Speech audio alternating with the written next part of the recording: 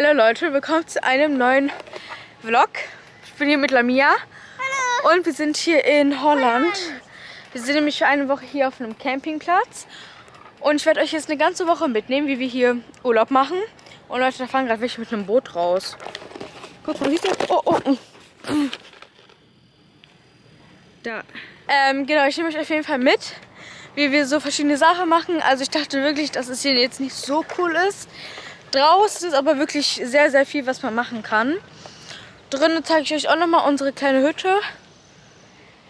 Und ja, ich würde sagen, wir nehmen euch einfach äh, mit, wie wir hier eine Woche Urlaub machen. Ich erzähle euch mal kurz zwei Storytimes. Der erste, also das erste Storytime ist, dass Lamia heute ähm, hier auf dem Campingplatz äh, in ein Schwimmbad geguckt hat. Und auf einmal kam da halt einfach ein Marder. Wir wissen nicht, aus welcher Ecke der Marder kam, aber der war dann von Lamias Füßen einfach.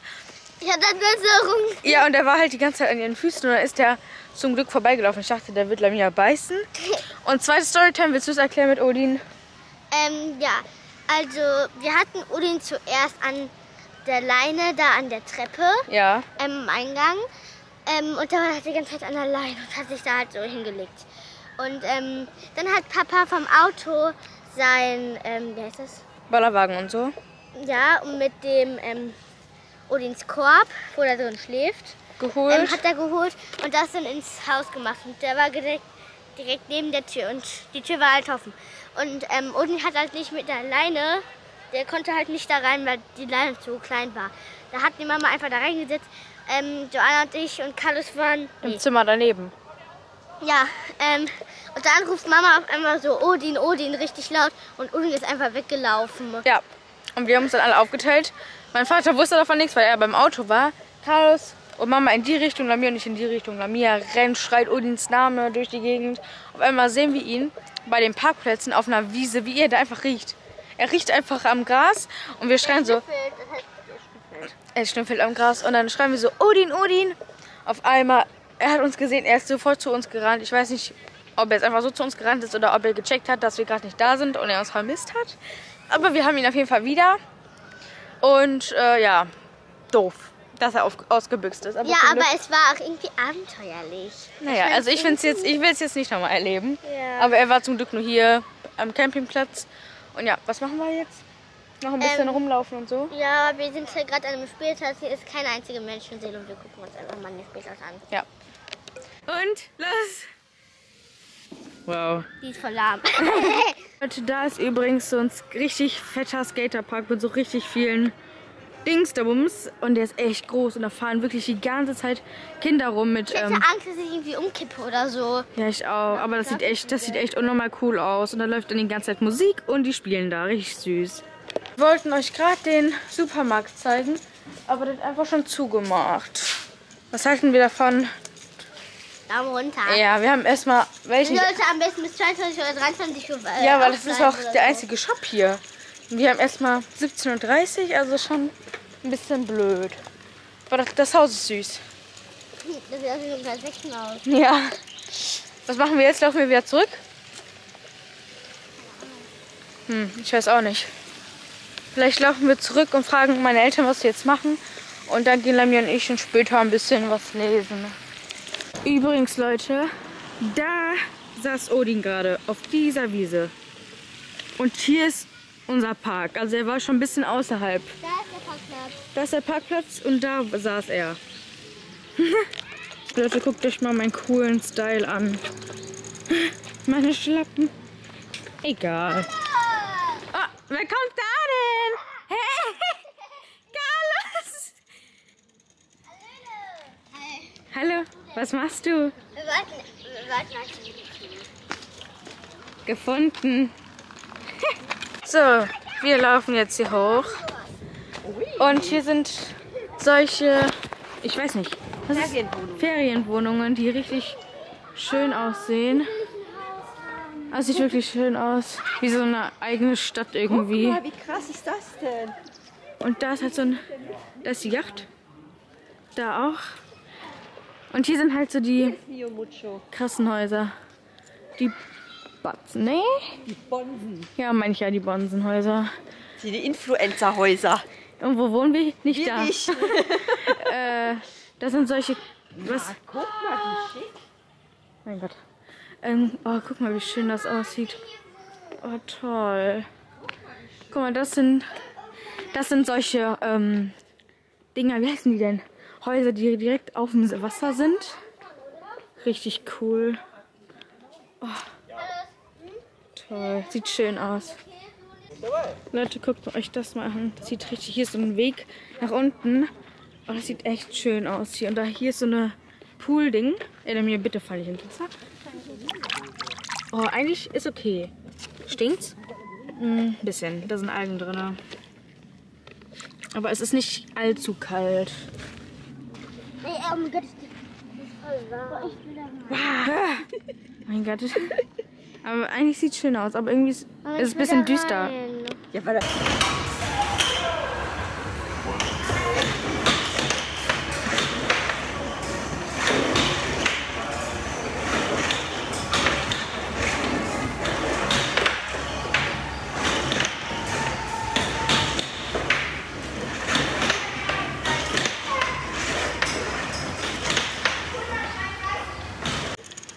Yo. Auf Lamiers Fahrrad. cool. Ja. Sieht man mich da drinnen? Hi. Ähm, sollen wir Käse mitnehmen? Käse. Aber welchen Käse? Was ist denn Jonik? Was ist das Wo ist denn. Ja. Am schnellsten da. Oh, So Leute, es ist heute Dienstag und ich gehe jetzt mit meinem Vater ins Gym, meine Gymhaare und ich würde sagen, wir gehen jetzt direkt los. Ich habe ja auch mein BCAA und wir gehen jetzt los. Wir sind jetzt hier an so einem Strand und haben uns jetzt hier hingesetzt und werden jetzt unsere Bücher lesen. Ich lese jetzt mein neues Buch und ich hoffe, dass es sehr gut sein wird. Wir sind hier direkt am Wasser und ganz alleine. Also, was gibt's Besseres, ne?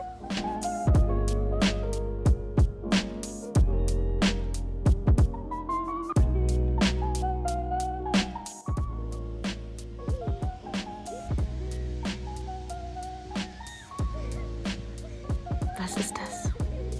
Hey Leute, ähm, ich bin zu Hause mit Odin. Wir sind seit. Seit wann sind wir zu Hause?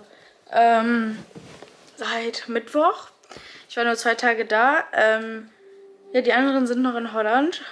Äh, ich aber nicht, weil ich die ganze Zeit nicht dort schlafen konnte. Also ich habe wirklich eine Nacht gar nicht geschlafen und die andere Nacht wurde ich 20 Mal wach. Deswegen war das für mich echt nicht so cool.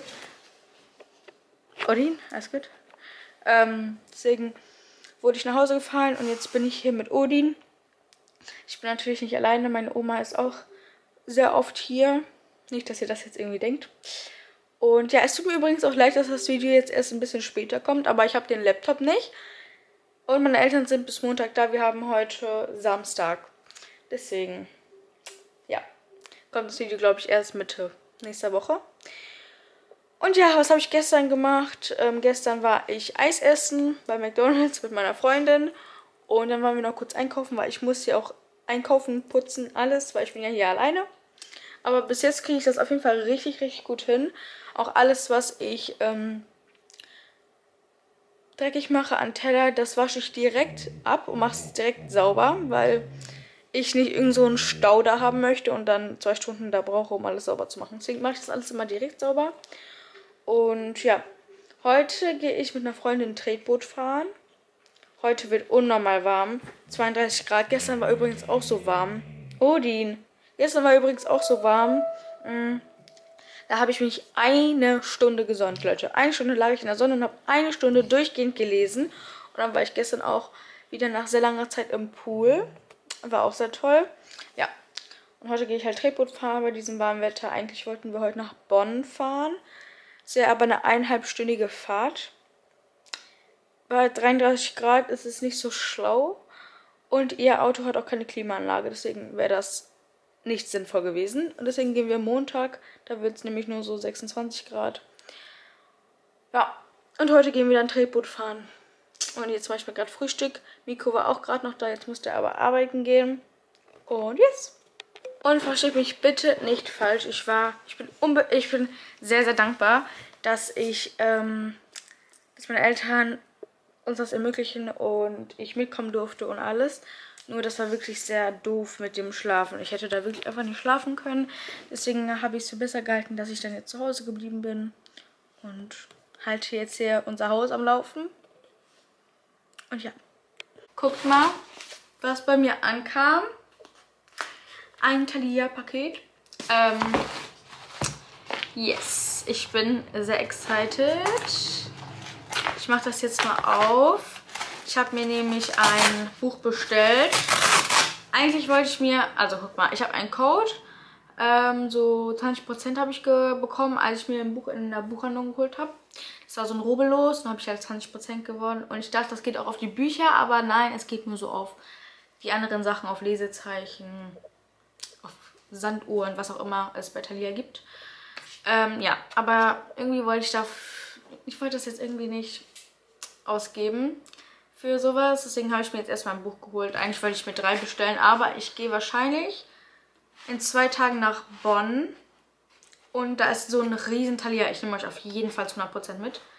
Aber, ähm...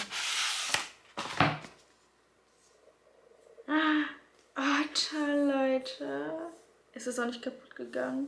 Da bin, ich bin so ein Perfektionist bei sowas, ne? Wenn hier irgendwo ein Knick ist, dann kommt zurück. Leute, wie schön dünn ist das? Ich habe mir das hier geholt. Spring into your heart. In your heart. Ich sag's die ganze Zeit falsch. So sieht's aus.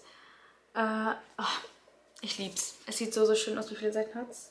Boah, nur 290 Seiten. Das ist ja mal unnormal perfekt.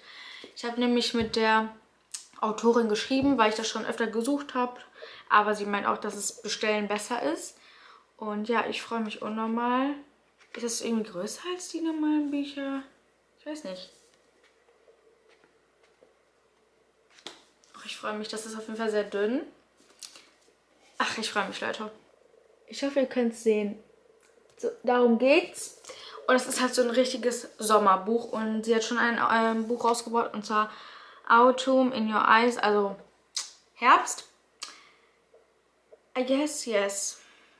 Ja. Und das ist jetzt der zweite Teil. Der dritte kommt jetzt auch. Das heißt Sommer in Your... Weiß ich nicht. Aber das ist jetzt erstmal mit Frühling. Und ja, ich werde mir das erstmal bestellen und dann gucken, ob ich es gut finde. Und dann würde ich auf jeden Fall auch noch die anderen Sachen holen. Aber ich wollte jetzt nicht dieses Herbstbuch äh, jetzt lesen. Ich wollte jetzt das erstmal lesen, dann das Sommerbuch und dann im Herbst erst das andere Buch. Und ich bin sehr, sehr gespannt, wie das ist, Leute. Ich hoffe, dass es gut sein wird. Ich denke mal schon. Aber irgendwie ist es anders aufgebaut, finde ich. Irgendwie finde ich, das sieht anders aus, oder? Irgendwie? Ich glaube, die Seiten sind irgendwie, das Buch ist irgendwie größer als die normalen Bücher. Warte. Oder bin ich doof? Nee, eigentlich nicht. Nee. Aber es ist auf jeden Fall viel dünner. Ach, ich freue mich schon unnormal, das zu lesen.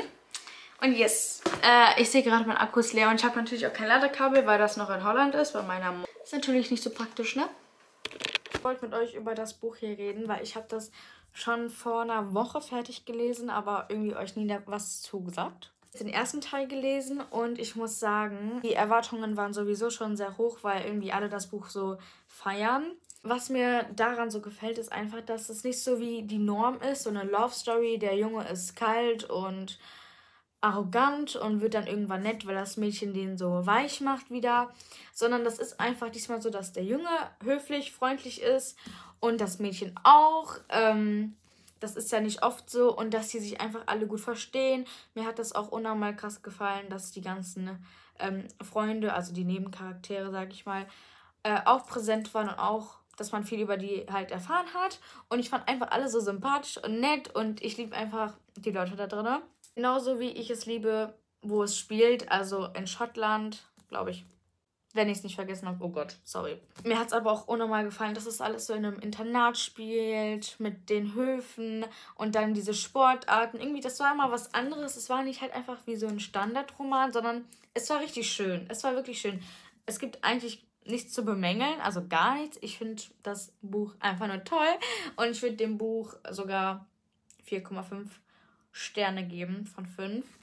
Ich kann es echt empfehlen. Das ist einfach richtig schön zu lesen und alles darum ist einfach schön. Ich habe dafür, glaube ich, vier Tage gebraucht. Ihr könnt mir gerne mal hier die Meinung von euch reinschreiben, wie ihr das Buch findet. Also ich habe es geliebt und würde es auf jeden Fall auch empfehlen.